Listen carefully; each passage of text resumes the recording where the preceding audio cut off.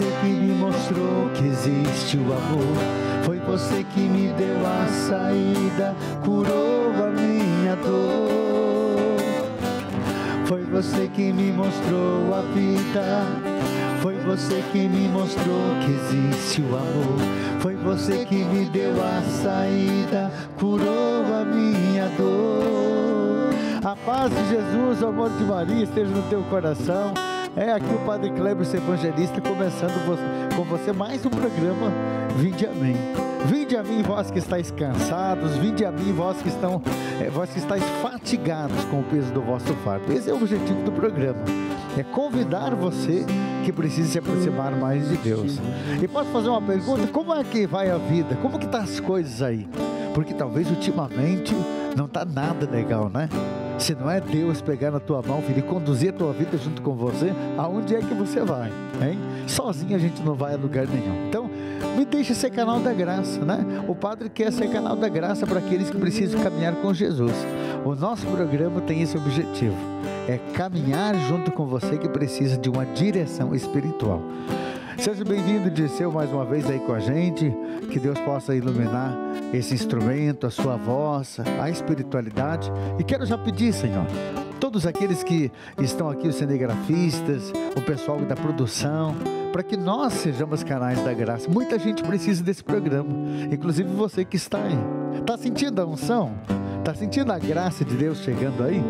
Que bom que você não sai mais dessa evangelizar, né, gente? Eu digo que a obra evangelizar tem um programa melhor do que o outro no sentido de cativando os corações. E hoje eu quero trazer para você mais uma carta, mais uma história. O povo precisa, meu Deus do céu, de direção espiritual. Talvez até essa vai ser a motivação para que você possa também me escrever.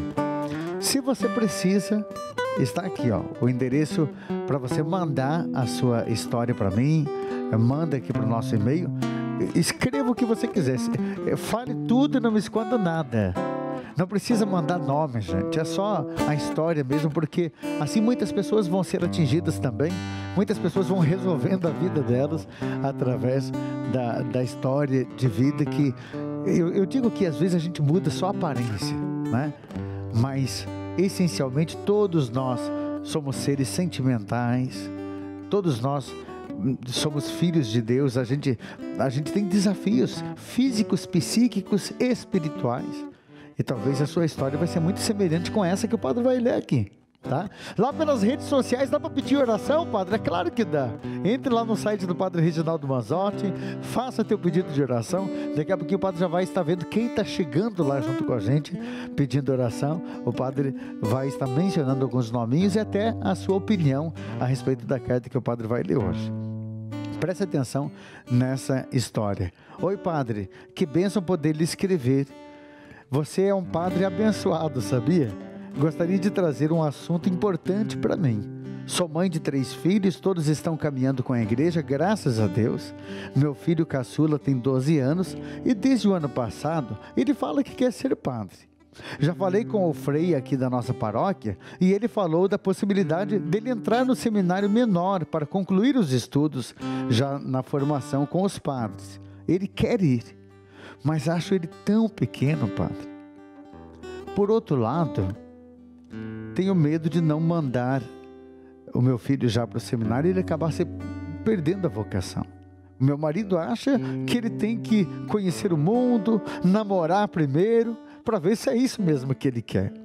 Mas eu penso diferente. O que o senhor me diz, padre? Leia minha carta, por favor, diz essa mãe. Leia minha carta, por favor. Está aqui a sua cartinha, filho. O padre acaba de ler. Eu digo que a vocação é um mistério, né, gente? Se tem uma coisa que eu não consigo às vezes responder é ah, por que que você escolheu ser padre? É algo que vem, é um desejo, é algo que você vai se lançando. E já quero dizer, se ele está com esse desejo de ser padre, é porque esse desejo é antigo, hein? Isso já vem lá de berço, hein, mãe? Isso vem quando ele estava lá no ventre da tua mãe. Uma das canções que o padre compôs né, chama-se Vocação. E o Dirceu já está dedilhando ali porque o Espírito Santo já está agindo aqui. E essa canção diz assim: A minha vocação é um sopro do Senhor que me escolheu, desde o ventre da minha mãe. A minha vocação é um sopro do Senhor que me escolheu para seguir teus caminhos de amor, mesmo antes de nascer. O Senhor me escolheu para teu nome anunciar, levar a paz e a tua luz. E a resposta é essa: Sim, eu irei, Senhor. Eu irei por ti, sim, eu irei, Senhor. Palavra vou seguir, sim, eu irei, Senhor. Oh, Jesus, é, essa, essa música é para dizer um pouco da vocação, porque, mãe, se o teu filho está dizendo que quer ir para o seminário, pode ter certeza que Deus está chamando. Agora, eu, eu digo assim: a criança de fato é pequeno demais, às vezes para ir para o seminário, e, e, a mãe a mãe quer que o filho seja padre, mas se pudesse ser de uma hora para outra, né? Se pudesse ser uma mágica assim, né? O filho se ordenar padre de uma hora para outra, não é assim que vai acontecer. É, sabe que todo o tempo de seminário, esses sete anos dentro de um seminário, né? É, é para que dia após dia a pessoa possa ser lapidada, né? Eu me lembro como se fosse hoje, disse eu, o dia que eu questionei um pouco o meu reitor e, e disse para ele: Eu não entendo por que, que a gente precisa ficar tanto tempo dentro do seminário. Se a gente pudesse eh, ir para casa todos os dias e fazer faculdade, né? Mas por que morar no seminário? Ficar longe da família e tudo. E, e me lembro que ele disse: O que faz de um homem um padre não é a faculdade, mas é esse tempo de se deixar ser lapidado, dia após dia, aprender a viver em comunidade aprender às vezes a engolir alguns sapos, como diz o outro, né? Aprender a perdoar, aprender, é, é, é, sabe, você aprender a ter paciência com aquele que às vezes te ofendeu lá no, no, no campo de futebol, é, no dia a dia, sabe, gente? Eu digo assim que esse tempo de seminário foi precioso na minha vida. Então, você concorda com essa mãe que às vezes tem um pouco de medo de mandar o filho e o, e o marido até diz assim: tinha que namorar primeiro para aproveitar a vida? né? Ou para ver se é isso que ele quer. Mas será que seu filho não pode se perder lá? Será que ele não vai acabar pensando, poxa, mas eu não quero mais saber dessa história de igreja agora, eh, namorando, saindo com os amigos, curtindo a vida, é isso que eu quero. Não é isso que tem feito muitos jovens se perder? Hein? Eu vou falar, eu vou falar que eu estou coçando aqui para falar, mas eu quero saber também quais são as opiniões que vão chegando lá e você que quer participar comigo, entre em contato. O Ariel, o Ariel Patrício, Padre Kleberson, é, obrigado por entrar na minha casa, Padre, através da Evangelizar. Aqui a, a, minha TV estragou na Evangelizar. O Ariel dizendo que não tira mais, né, Ariel? que Deus abençoe e continue com a gente aí. A Maria Verônica, bênção, Padre. Ore por mim, pela minha família, Padre. Adoraria ter um filho padre, diz ela, né? Qual, qual os pais que não gostaria? E aquilo que o Padre está dizendo aqui, Maria Verônica, se pudesse da noite para o dia, né? Mas os pais têm aquele sentimento de perda, né? De ter que mandar o filho para o seminário. Às vezes a gente é capaz até né, de, de rezar para que tenha mais padres, mas de preferência que seja o filho da vizinha para ir para o seminário, não o meu, né? É, vamos lá. A Valdete Silva, bênção, Padre Clebson, peço oração pela minha família. E eu sou a Valdete de Santa Rita do Paraguai. Olha o povo do Paraguai mais uma vez junto com a gente lá. Um abraço, um carinho especial do Padre Klebs, que se Deus quiser, em junho desse ano, pessoal do Paraguai, em junho desse ano, o Padre vai estar com vocês novamente.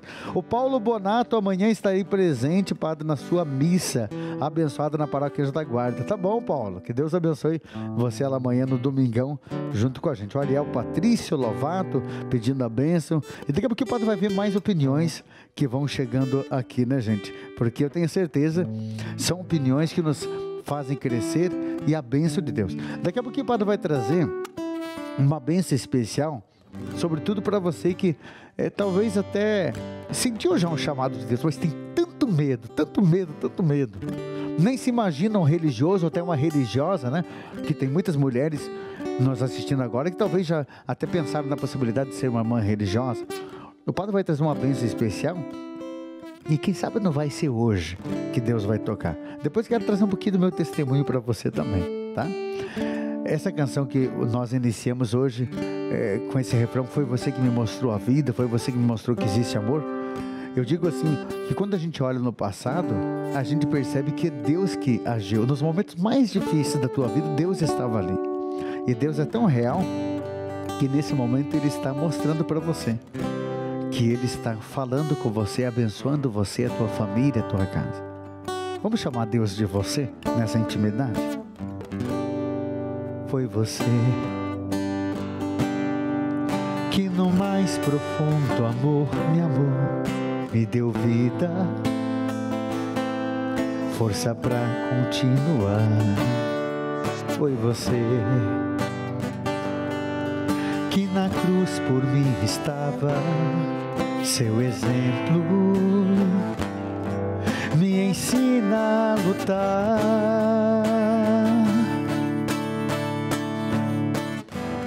Foi você que me mostrou a vida. Foi você que me mostrou que existe o amor. Foi você que me deu a saída, curou a minha dor. Foi você que me mostrou a vida. Foi você que me mostrou que existe o amor. Foi você que me deu a saída, curou a minha dor. Senhor, eu sei que foi você que no momento que eu mais necessitava estava comigo. Tu és o autor das vocações. Obrigado, Senhor, por tudo que o Senhor nos faz. Pelas vidas que o Senhor está tocando agora, Pai. Eu sei que foi você. Foi você. E na cruz por mim estava. Seu exemplo. Seu exemplo. Me ensina. Me ensina a lutar.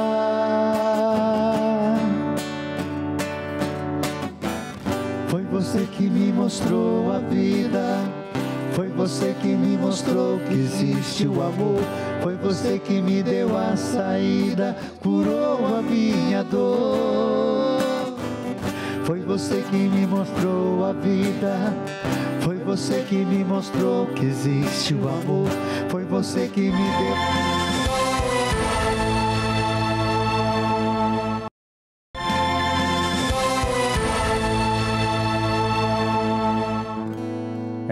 Amado de Deus, quem está nos acompanhando está sentindo essa unção que vem de Deus. E eu quero pedir, Senhor, que aqueles que vão pedindo oração aqui, tem tanta gente que talvez ainda não entrou aqui no site do Padre Reginaldo, não entrou nas redes sociais para pedir oração, mas você sente um desejo de, de que o Padre possa ser o seu intercessor e vou dizer uma coisa para você: sozinho é difícil, mas juntos nós somos mais. Então, se você quer inclusive entrar lá no meu site, Padre Kleberson Evangelista, só digitar o um nome completo: padreclebersonEvangelista.com.br. Pode entrar lá que o Padre vai estar rezando por você. E em nome de Jesus aquilo que não provém de Deus cai por terra. Sei que cai, Senhor. Quantas pessoas precisando resolver a vida, né? E esse programa de direção espiritual justamente é isso. É, é esse diálogo gostoso, essa oração gostosa e as pessoas vão resolvendo a vida assim. Né? A Genida Silva pedindo a bênção e pedindo, sobretudo, pelo Miguel, dizendo que, que ele fez aniversário semana passada e ela quer uma bênção especial por Miguelzinho lá. É, eu tive a graça de conhecer essa criança, o Miguel, que é uma, uma graça, é um anjo mesmo, nome de anjo. Parabéns, Miguel, que Deus abençoe você e a minha bênção para você lá, viu? Maria Salete Brecher, peço oração pelo meu trabalho, Padre, é, pelo meu filho João Victor, para que ele possa alcançar um trabalho também a Marci Ferreira. Padre, peço oração por mim, a minha família, o meu marido que está trabalhando longe aqui de casa, os meus filhos Guilherme e Maria Helena. Um abraço, Padre, gosto muito do seu programa. Obrigado, Márcia, que Deus abençoe você, meu anjo. A Vanessa Bestel, peço, oração por mim, pela minha família e amanhã irei fazer uma cirurgia, Padre, que Deus abençoe. Viu, Vanessa? Que Deus possa estar sobre a tua vida, protegendo você. Jesus médico dos médicos, com certeza vai te dar essa graça da, da cura interior. Gente, hoje o padre falando aqui dessa história que eu, eu digo assim que a cada carta que o padre lê aqui no programa fala de, de, uma, de um mundo, né, gente, que a gente vive. E essa mãe de três filhos, né, ela diz assim: Poxa, padre, eu tenho o desejo de ter um filho padre, mas ah, de mandar o filho para o seminário, para mim é um sentimento de perda muito grande, ele é muito pequeno.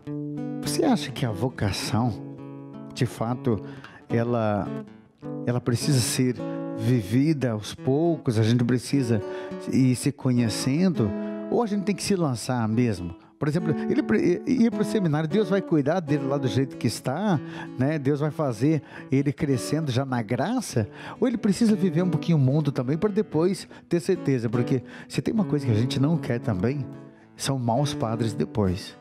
Né? E você sabe, às vezes, como é triste quando a gente tem, às vezes, até escândalos, ou padres que às vezes não tratam bem o povo. Assim como existem maus pais, mães de família, existem maus padres. Eu quero trazer aqui para você uma matéria de jornalismo, a história de dois jovens seminaristas. A gente vai entender um pouquinho mais sobre a vocação e como é gostoso, né, gente, se lançar, se entregar para a vontade de Deus. Vamos ver lá esse VT? Nos corredores da escola, entre os alunos do ensino médio, alguns têm uma vocação em especial. Juliano e Gabriel são seminaristas e no colégio, que funciona junto com o seminário, eles já têm certeza do caminho que querem seguir. Desde pequeno, de uns 4, 5 anos, eu já queria ser padre e até desde pequeno eu já brincava de fazer missa. Eu saía da missa, chegava em casa, eu tenho uma irmã mais nova, brincava de dar comida para ela, comida, no caso, a Eucaristia com bolachinha e aquele suco de groselha antigamente que tinha. Eu vi aqueles jovens na igreja e eu senti que eu precisava trazer também os jovens para a igreja, que isso tem uma grande importância. E eu comecei a fazer encontro vocacional aqui. No seminário, eles têm aulas das disciplinas comuns a todos os estudantes, mas também têm atividades específicas voltadas ao sacerdócio. O caminho para ser padre é longo. Alguns iniciam esse processo ainda na adolescência, como os seminaristas que estudam aqui. Depois, eles ainda vão passar pelas faculdades de filosofia e teologia. Então, são no mínimo mais sete anos até a ordenação. Além de toda a paciência e disciplina que isso exige, o processo de formação também inclui muito acompanhamento espiritual. O responsável pela orientação é o Monsenhor Francisco Fabres, que trabalha há 50 anos no seminário. No livro comemorativo estão fotos e recordações dessa história. Ele orientou pelo menos 2 mil jovens, com uma centena mais ou menos que se tornaram padres. 15 viraram bispos e desses, nove foram orientados pelo Monsenhor. É uma responsabilidade muito grande. Todo dia eu peço a Deus muita luz, força, porque a gente não é limitado, não é? E faz o que pode. Faz o que pode, porque a gente confia na graça de Deus. Né? Fico feliz de poder contribuir com a igreja e com a sociedade, né? Ajudando a tanta gente Padre Chico, como é carinhosamente chamado pelos alunos, é responsável pela orientação espiritual e vocacional dos adolescentes. Mas esse trabalho também é importante para aqueles que não entraram tão novos assim no seminário.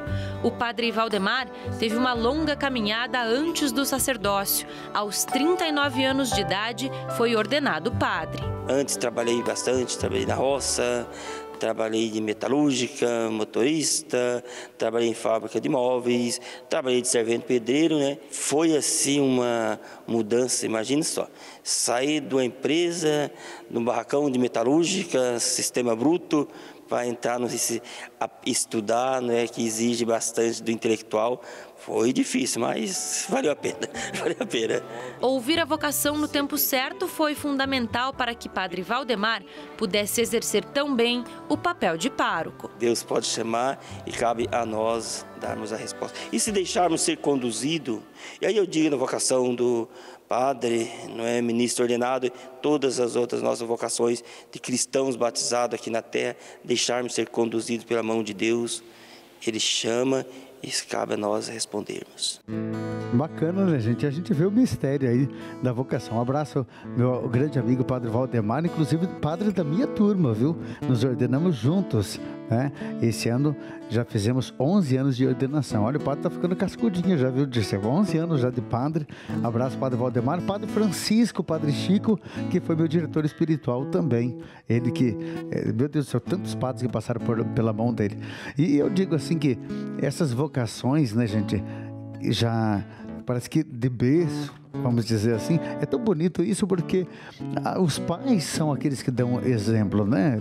Os pais já participam da igreja, os filhos vão desejando aquilo, como essa criança dizendo: Eu vinha da missa e brincava de missa em casa. Né? Eu mesmo eu pensei de ser padre, já tinha 18 para 19 anos. Né? Naquela época estava até de namorinho e tudo mais, e né? é, já trabalhava, tinha feito curso em artes gráficas, então estava trabalhando. Então, tem vocações que vêm já desde a infância e outras vocações já tardias. Gente, eu penso que a vocação, ela é de fato de berço, ela já vem do ventre materno. Porém, para a gente conseguir entender a nossa vocação, às vezes é com o tempo que a gente vai. Né? Você que está nos acompanhando, você acha que esse jovem, ele deve já se lançar, já que ele já sente esse desejo, ou espera como esse, esses que têm a vocação tardia, espera para viver um pouco o mundo para depois é, fazer essa experiência vocacional no seminário. Eu tenho aqui uma palavra que eu gostaria de partilhar com você, que é o Evangelho de Mateus 19 a partir do versículo 12, fala um pouco do mistério. Porque, sobretudo, nós padres temos que renunciar de ter uma família, viver o celibato, né? Os eunucos, segundo a, a teologia, eunuco significa aqueles que não podem ter filhos. E olha o que a palavra de Deus vai dizer em Mateus 19, 12. Porque há eunucos que são desde o ventre de sua mãe. Há eunucos tornados pelas mãos dos homens. E há eunucos que assim mesmo se fizeram eunucos por amor ao reino dos céus. Quem puder compreender, compreenda. Né? Quer dizer, Existem eunucos que nasceram assim, não pode ter filho por uma questão até genética, uma questão de natureza da própria pessoa. Aqueles que são feitos pelas mãos dos homens é o próprio contexto histórico onde, onde antigamente, vocês sabem que os reis às vezes mandavam castrar os soldados para que não não tivesse caso com as suas mulheres. Então, houve na história esse tipo de situação. Mas Há aqueles que se fazem assim por amor ao reino dos céus. Quem puder compreender, compreenda. Quer dizer, é um mistério, é um mistério. Quer o meu conselho? Deixa que ele flua naturalmente na vocação. Ô oh, mãe, ele quer ir para o seminário? Deixa aí. Lá, ninguém melhor, escuta o que o Paulo vai dizer: ninguém melhor para conduzir o teu filho na vocação do que os padres, os formadores que lá estão. E seminário não quer dizer que quem entra vai necessariamente ser padre. Quem entra para o seminário entra para fazer uma experiência. Lá ele vai fazer o discernimento dele. Pode ser que nem seja vocação, mas ele vai descobrir lá dentro. Agora, pelo amor de Deus, mãe, pai sobretudo, pai sobretudo, deixar o filho ir para o mundo para depois ver se ele quer ser padre, pode ter certeza, você vai perder a vocação do filho. Porque aí ele vai se, acabar se perdendo no mundo. Não faça isso. Deixa naturalmente ele já ir é, para essa inclinação né, dessa vocação, o qual ele está sendo chamado. Tá? É a minha opinião. Quero trazer aqui para você essa água que se transforma em remédio espiritual. Eu sei que tem pessoas aí que não perdem por nada essa bênção. É por isso que tem água aí já na frente dessa TV, tem talvez roupas, fotos. Ô Senhor, sobretudo aqueles que precisam dizer sim para a vocação. Tem muita gente sendo chamada para ser padre, irmão ou irmã religiosa que essa bênção fortaleça, cure e purifique tantos corações sedentos da tua palavra e da vocação. Pai, Filho e Espírito Santo. Amém. Que Deus possa abençoar você imensamente. E eu quero desde já, Senhor, é, convidar aquelas pessoas que estão com a gente a continuar nessa programação. Você que já é associado, eu te agradeço imensamente que esse programa só está no ar por causa da sua contribuição. Se você ainda não é um associado, nos ajude a manter essa obra. Olha quanto que nós estamos ajudando as pessoas.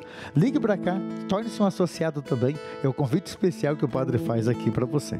Estou voltando para te amar Estou voltando porque sei que aqui é meu lugar. Uma das canções do Padre Cleves. Obrigado, Giseu, mais uma vez pela sua participação, tá? Sábado que vem, se Deus quiser, aqui no nosso programa Vinde Vem. Estou voltando pra te amar. Estou voltando pra te adorar. Estou voltando porque sei que aqui é Estou voltando pra te amar. Estou voltando pra te adorar. Estou voltando porque sei que aqui é o meu lugar.